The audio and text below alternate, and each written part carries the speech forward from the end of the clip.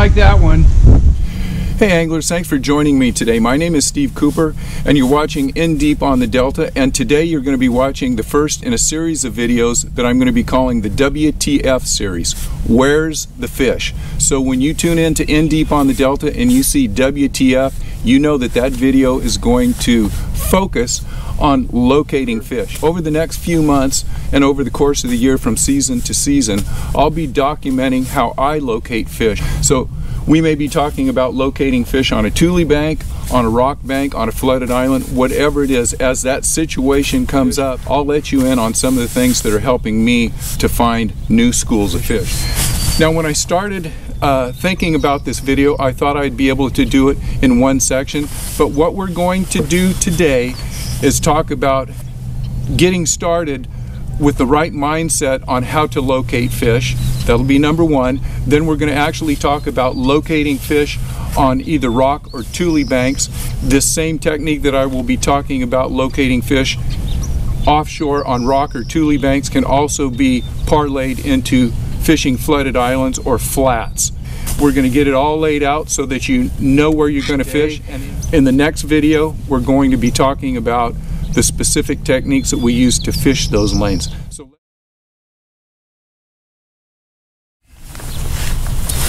Today, the first video we're going to be sharing with you is called Becoming a Hydrilla Gorilla, and it's all about fishing offshore vegetation. So let's get started, and we're going to talk about fishing one specific weed that grows all over, and it looks like this. Some of you may call it hydrilla. Uh, its its actual name is either Egeria densa or uh, Elodea. If you're on the deck of a bass boat or a kayak, you look down, you see this, it all looks the same. If you wanted to classify it, uh, if you looked at the leaves coming off the stem on the Elodea or the Egeria densa, the edges of these are going to be nice and smooth. If this was Hydrilla, these little fronds that are coming off, these guys here, they would have a serrated edge. That's how you tell the difference. It makes no difference to the fish. It makes no difference to the fishermen. We can call it whatever we want. So so uh, don't hold me up if I if I call it waterweed or Egeria densa or hydrilla during this thing. It's all the same thing. It is the fastest growing aquatic weed in North America. During the summer months when it's really active, it can grow a couple inches a day. This stem can get to be maybe 15 feet in length. This is really important to remember it grows out to about 12 to 14 feet of water. This attaches itself to the bottom, grows up to the top. In the delta, you'll see it matted a lot more than in other places because of the tide. It's growing from the bottom, but it can mat on the top. The other thing to remember about this stuff is it grows on soft bottom, so the mud and the, the yuck that we have out here, it loves to grow on there. Where it doesn't grow is on hard bottom. It's not going to grow off of a rock, and it's not going to grow off of a sandy bottom. So what we're going to be looking for are those pieces of hard bottom in these big areas, these dense jungles of hydrilla, because those are going to be the sweet spot.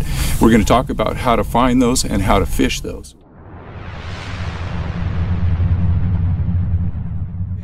So let's talk about how we're going to locate the sweet spots on this river when there are just literally hundreds of miles of this stuff.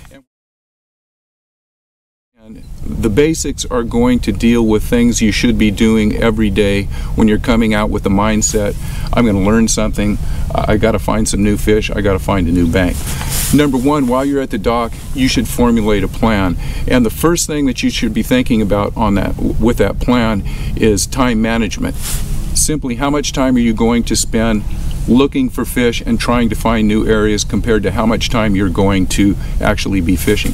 When the fishing's great and you're catching fish, I probably wouldn't be looking for more fish. You don't want to leave fish to find fish. But uh, when the fishing gets tough or you're, you're trying to set a new pattern, you want to spend a little more time every day looking for these new honey holes. What we're going to be talking about today is not looking for new locations, but we're going to be talking about finding sweet spots in the locations that you already know. We will be cross-phasing a lot of information.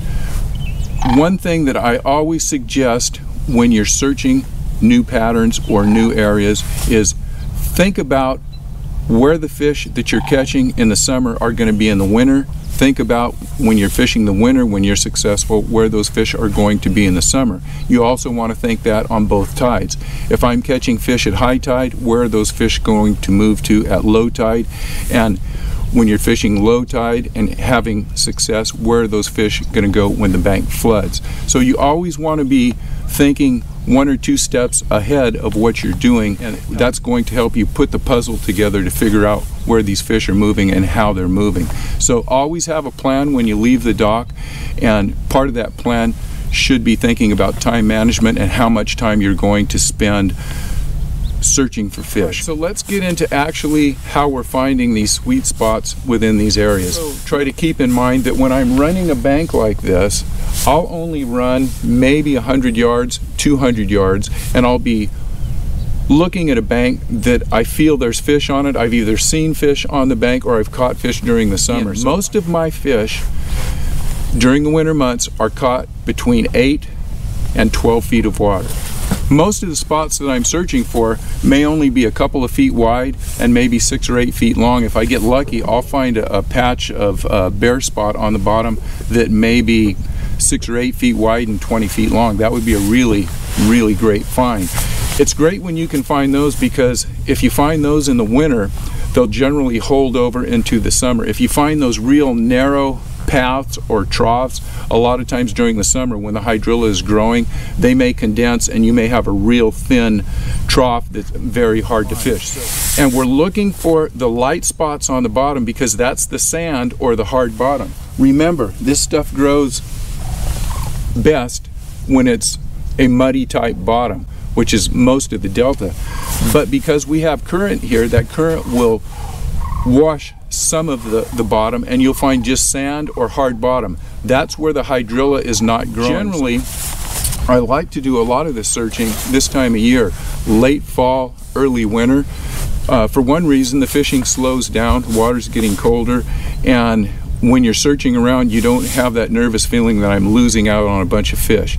I generally like to wait for a sunny day. That gives me a little more light penetration. I could see down into the water not very often do I ever use electronics out here on the Delta to locate fish or areas. It's, it's all observation. We want that sun to come down and we're looking for bare spots. And these fish get active, they're going to come out and find these lanes. As the tide turns or the season changes and things start going, you start having sunfish become more active, the crayfish are moving around. A lot of those fish that are dug into the hydrilla, they're going to come out and start looking in these lanes because the lanes provide them an area to come out and start hunting in. And they'll move up and down these lanes or they may just come out to the edge so they can eyeball the lanes. And when a crayfish starts crawling across the bottom, they can come out and grab it. Or a sunfish moves out, they can ambush it from uh, many different spots. So once we're in that area that we know there's fish there, we've we've either caught fish in the past or we've seen fish or,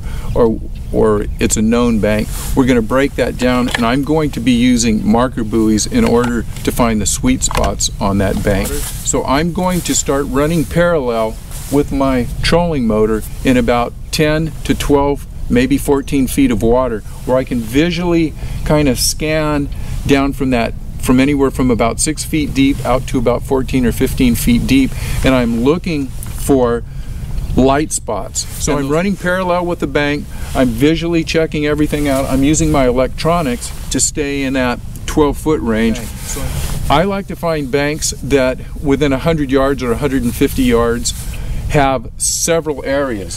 I'll find two or three, hopefully four areas, and I'm going to mark them with marker buoys. So let's get into how we're going to mark these things. All right, guys, we're just going to go through the motions and pretend that we have found a couple of these uh, troughs on the bank. And let's just say I'm going down the bank and I see a soft spot here. And let's say this one's a nice big one. It's about 10 or 12 feet long and it's about four feet wide.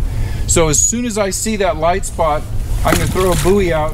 When we come to the other end of the trough, we'll throw another buoy out. So now what we have is that lane of hydrilla marked and we know exactly where it is. I'm going to turn around and we're going to take a look at these buoys and we're going to give you some more information. All right, guys, hopefully you can see the buoys out here and we've got that sweet spot marked. What I try to do is find, like I say, two or three or four of these spots down the bank. So you'll see marker buoys all up and down the bank when I'm fishing these things.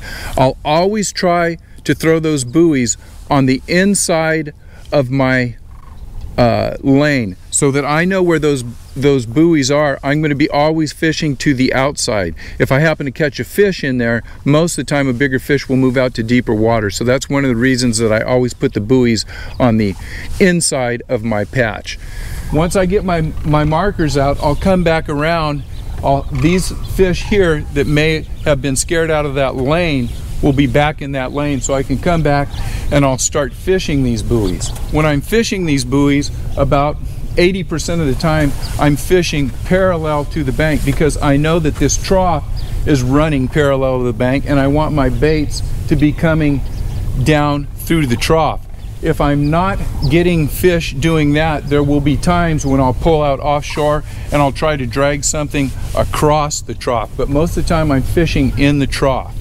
So guys, I thought I was going to um, be able to complete this video in one session. What I'm going to do is break it up into two sections. We've talked about the philosophy of locating fish and how to go about it. You've seen how I look at a bank like this and how I mark it. What the next video is going to be, we're going to be talking about how we fish these bank troughs. Now I am going to specifically be talking about fishing plastics, worms, and creature baits. Some of my techniques are very straightforward. Texas rigged worms, uh, Neko style rigs, wacky worms. We're going to talk about fishing those techniques, but I also have some very non-traditional techniques that I fish these I think you're going to be interested in. I fish a lot of worms under indicators, which I call floating worms, and I use a lot of two worm setups. I also use the old style Carolina rig and we'll talk about when you should be using the Carolina rig compared to when you'll be using a uh, Texas rig. All of that will be covered in the next video. I thank you for watching. If you've enjoyed the video, please subscribe. If you haven't already subscribed, tell your friends, and we'll see you at the next video. And I think we're going to call that um, fishing between the buoys. How's that?